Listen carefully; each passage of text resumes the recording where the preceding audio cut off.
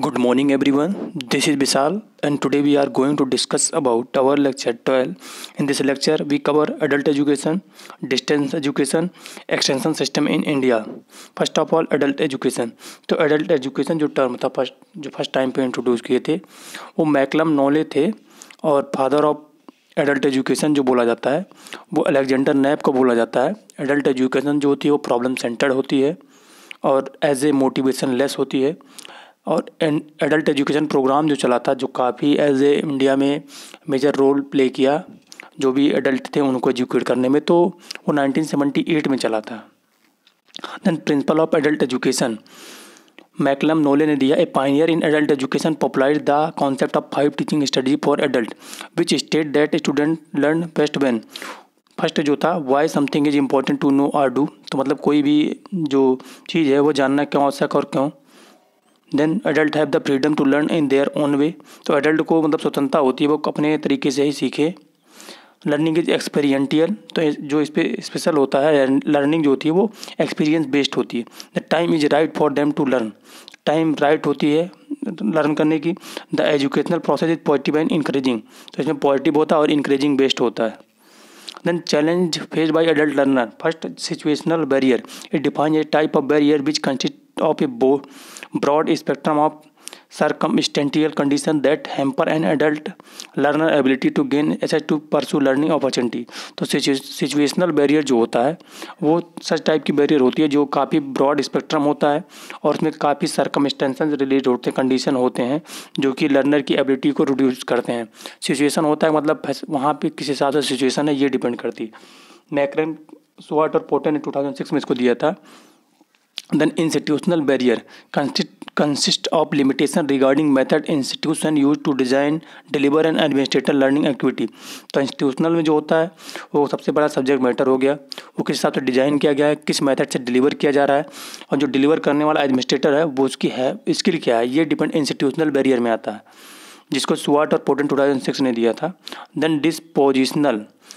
is also known as barrier attitudinal barrier relate to learner inner feeling and their perception of their ability to register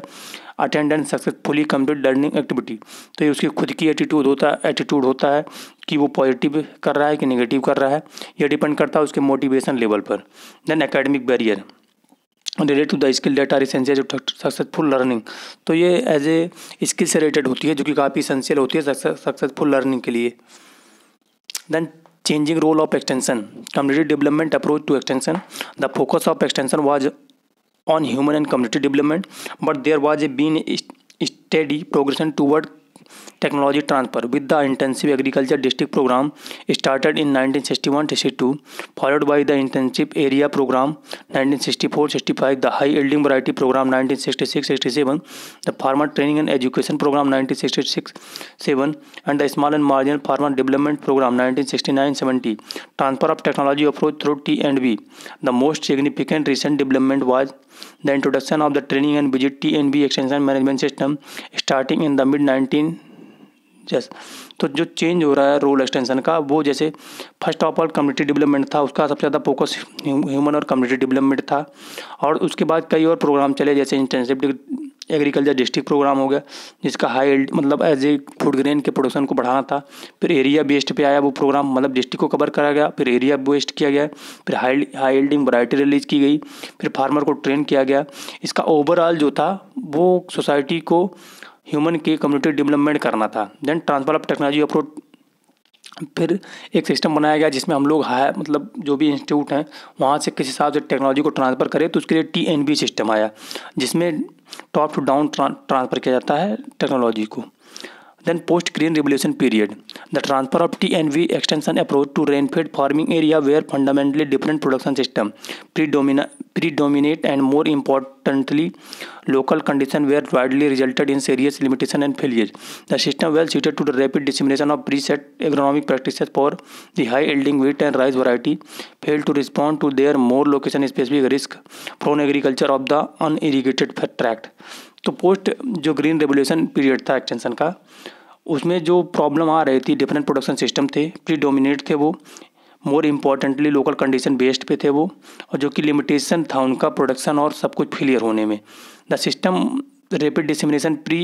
preset economic practice पे वो without कोई भी जो set नहीं थे economic practice उसके base पे production कर रहे थे टूवर्ड फार्मिंग सिस्टम अप्रोच उसके बाद फार्मिंग सिस्टम अप्रोच आया नाइनटीन फिफ्टी से सिक्सटी के बीच में जिसमें फार्मर इग्नोर कर रहा था जो भी नॉन अडोप्शन एग्रीकल्चर टेक्नोलॉजी थी उसको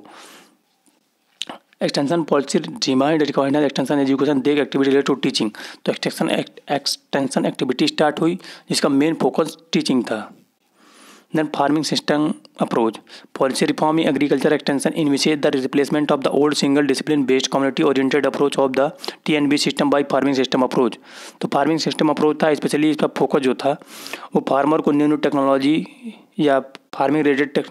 जो इन्फॉर्मेशन थी उसको इंट्रोड्यूस कराना द फार्म को उनके फार्म को डेवलप करना द फार्म हाउस होल्ड दो फार्म्स हाउस होल्ड था उसको डेवलप करना of farm activity in holistic भी ऑफ फार्म एक्टिविटी होती है जस्ट लाइक प्रोसेसिंग हो गया मार्केटिंग हो गया एक्सटेंशन वर्क हो गया इसको ओवरऑल हॉलिस्टिक डेवलपमेंट था then multi agency extension service the monopoly of public sector public sector में मोनोपोली की वजह से the new extension regime recognise the role of multi agency dispensation comparison different strength तो new extension agency को resign कर resume कराना और उसको रिकॉग्नाइज कराना एज ए मल्टी एजेंसी के रूप में the three arm of agriculture extension network are first जो है पब्लिक एक्सटेंशन सर्विस है जो कि गवर्नमेंट के थ्रू होता है state government line department operated extension जैसे जो भी स्टेट डिपार्टमेंट लाइट एग्रीकल्चर हो गया हॉर्टिकल्चर हो गया लाइफ स्टॉक डेवलपमेंट हो गया then state agriculture university based extension director of extension Krishi Vigyan Kendra तो डायरेक्टर मतलब स्टेट या सी के थ्रू हो गया उनके के के थ्रू हो गया कृषि ज्ञान केंद्र के थ्रू हो गया then private extension services community based organisation farmer organisation farmer cooperative self help group तो प्राइवेट एक्सटेंशन ग्रुप में जो होते हैं वो सेल्फ हेल्प ग्रुप होते हैं कोऑपरेटिव होते हैं फार्मर ऑर्गेनाइजेशन होते हैं para extension worker contract farmer हो गया लिंक फार्मर हो गया गोपाल्स हो गया मित्र किसान हो गया महिला मित्र किसान हो गया agri clinic and agri business हो गया इनपुट सप्लायर हो गया डीलर्स हो गया pesticide seeds nutrient farm implements etcetera then corporate sector commercial crop crops हो गई tobacco tea coffee oil seed तो ये सब प्राइवेट एक्सटेंशन सिस्टम में आते हैं then mass media and information technology print media vernacular press हो गया radio television private cable channel etcetera हो गया then electronic connectivity through computer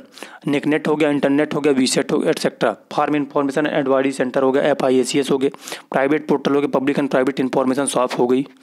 then thrust on marketing extension major thrust of extension agency on production technique marketing extension so far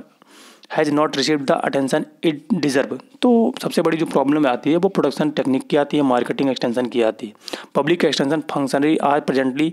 ill equip to deal with the marketing extension तो public extension system है काफ़ी सुस्त पड़ गया है जो कि overall marketing services को प्रॉपर प्रोवाइड नहीं करा पा रहा है the multi agency extension service will need to address this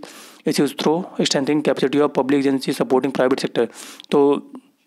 जो सबसे बड़ी ज़रूरत है तो पब्लिक एक्सटेंशन सर्विस है प्राइवेट एक्सटेंशन सर्विस को मिलाकर इस सर्विस को काफ़ी मजबूत बनाना जिससे कि फार्मर अपने प्रोड्यूस को ईजिली मार्केट में सेल कर सके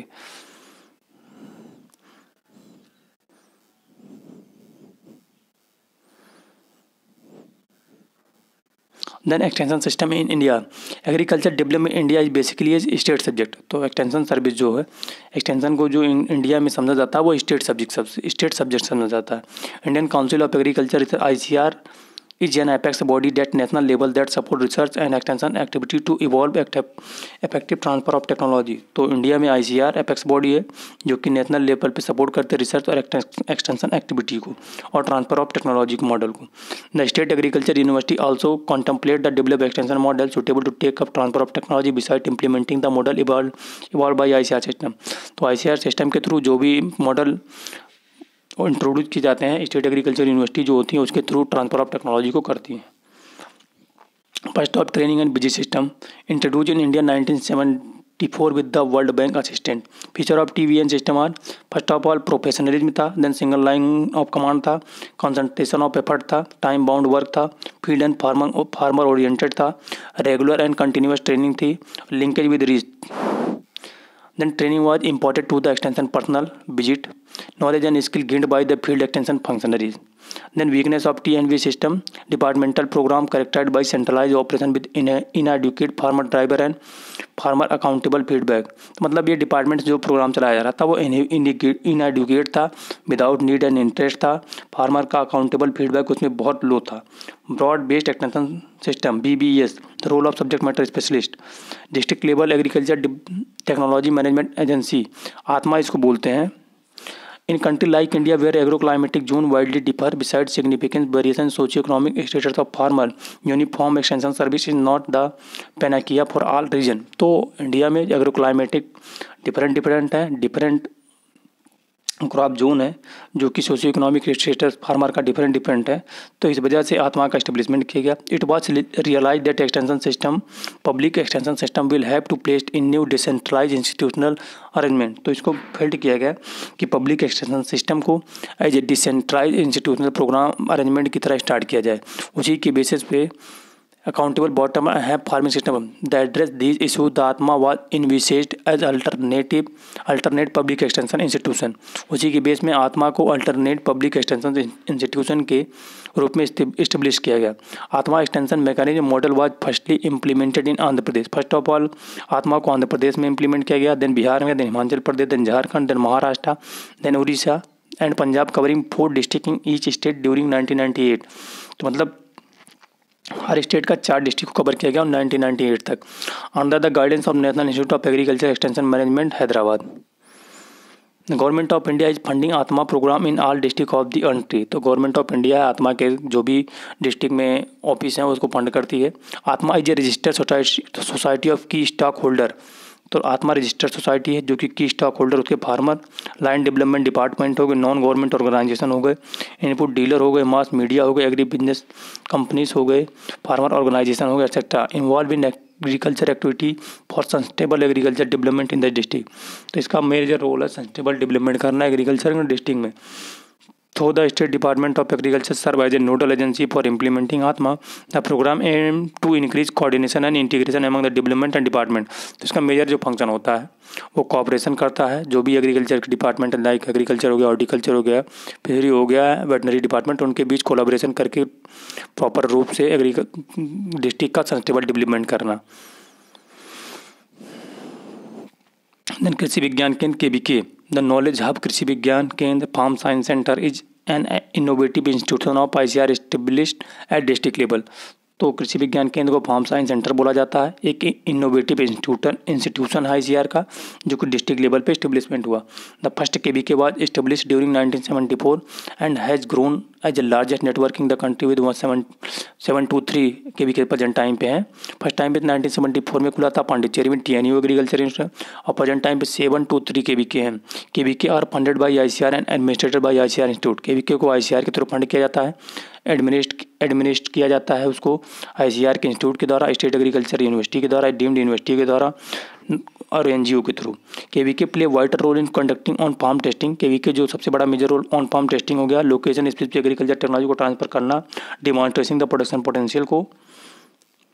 then state agriculture university S A U S support in implementing I C sponsored extension programme तो स्टेट एग्रीकल्चर यूनिवर्सिटी जो होती हैं आई के जो भी प्रोग्राम होते हैं उनको सपोर्ट करती है और स्पॉन्सर्ड करती है ये वार in several innovative extension model of efficiency reach the farming community तो फार्मिंग कम्युनिटी तक जो भी न्यू टेक्नोलॉजी होती है उसको पहुँचाती है undertake transfer of technology to farmer through Krishi Vigyan Kendra के थ्रू करते हैं एक्सटेंशन एजुकेशन यूनिट के थ्रू करते हैं फार्मर ट्रेनिंग इंस्टीट्यूट के थ्रू करते हैं बेकरी ट्रेनिंग करते हैं यूनिट स्टाफ ट्रेनिंग करते हैं ये आपको लोग इसको प्लीज़ राइट डाउन कर लीजिएगा स्क्रीन ले लीजिएगा सो so, गाइज आज का जो सेशन है हम लोग एंड करते हैं जिसमें हम लोगों ने एक्सटेंशन सिस्टम इन इंडिया को कवर किया एडल्ट एजुकेशन को कवर किया डिस्टेंस लर्निंग को कवर किया तो आपके जो भी सजेशन या डाउट है प्लीज़ उसे कमेंट सेक्शन बॉक्स में राइट डाउन करिए थैंक यू फॉर लिसनिंग